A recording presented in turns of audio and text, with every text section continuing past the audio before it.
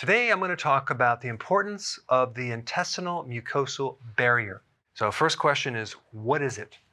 Well, it's simply a barrier uh, between the inside of your colon, which you have all the microbes, and I'm talking about the large bowel, okay? So most of the microbes, the friendly bacteria, should exist in the large bowel. And so here are the microbes right here. And then there's a barrier, a mucosal barrier. It's thick, uh, there's mucus in it, and then you have the cells of the colon called colonocytes. And these little guys will absorb selectively certain nutrients, okay?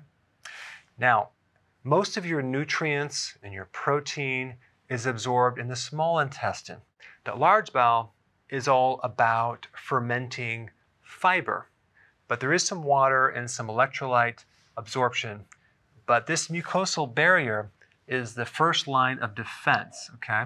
So the body's trying to protect itself from pathogens and also from these microbes getting into the body. So we want to keep these guys out here uh, so they can ferment fiber because our bodies cannot uh, break down fiber. So we get help from our friendly microbes that live in our body.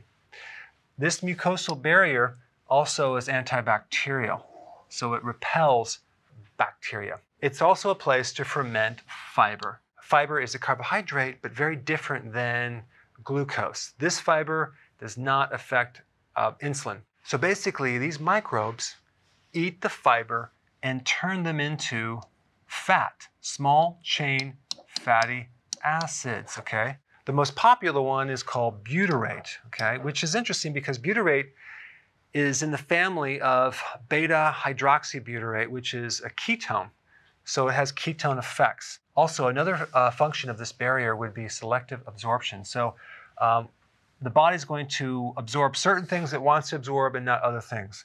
And the one thing it's going to definitely absorb is this fatty acid, a small chain fatty acid, because the primary uh, function of this acid is to feed the colon cells, okay? What's not being fed as energy to these colon cells can also be used by our body because our liver can absorb it and use it as energy as well.